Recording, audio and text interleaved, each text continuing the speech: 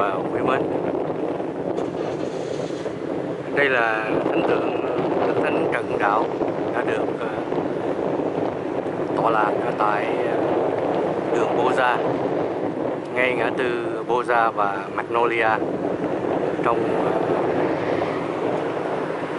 location là Hà Nội Plaza. Và chúng tôi đã nhận được nhiều ý kiến và đồng bào yêu cầu ban à, xây dựng tượng đài Đức Thánh Trần. À, cần để tên là Thánh tượng Trần Hưng Đạo. Bởi vì đó là danh xưng mà Ngài đã chọn để à, dẫn dắt dân tộc Việt Nam chúng ta. Đi đến thành công mỹ mãn hưng đạo. Chứ không phải ngài chọn là Trần Quốc Tuấn. Đó là những gì mà đồng bào yêu cầu. À, tôi à, tương tường trình cho ban tổ chức à, thành lập à, thánh tượng à, đài à, ảnh tượng à, Đức Thánh Trần Hưng Đạo. Tôi có ý kiến là thật sự ra thì ban tổ chức rất là cố gắng để làm công việc này và đương nhiên chắc chắn sẽ không có những thiếu sót.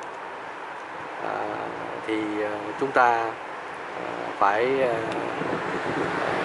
bổ túc trong tình thương yêu và đương nhiên cũng phải phụ giúp ừ, phương tiện để cho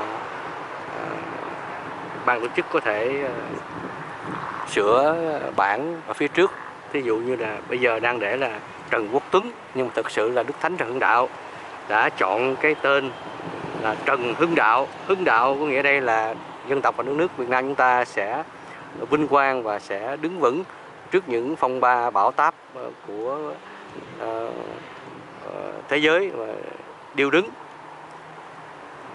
Chỉ có thực sự hưng đạo thì mới thực sự thì mới đứng vững thôi, trước những quyền năng ờ, cám dỗ và những tội ác của của nhân loại gây ra, cũng như là tội ác ờ, của quỷ thần gây ra.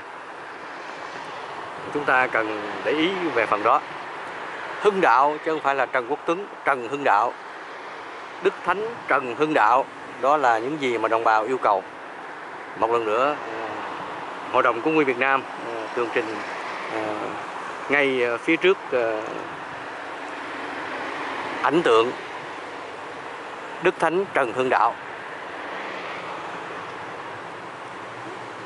Tất cả những ờ, đóng góp ý kiến xây dựng thì đồng bào cứ liên lạc, liên lạc thẳng với ban uh, xây dựng tượng đài Đức Thánh Trần Hưng Đạo và tọa lạc ngay ở phía sau uh, ảnh tượng Đức Thánh Trần Hưng Đạo.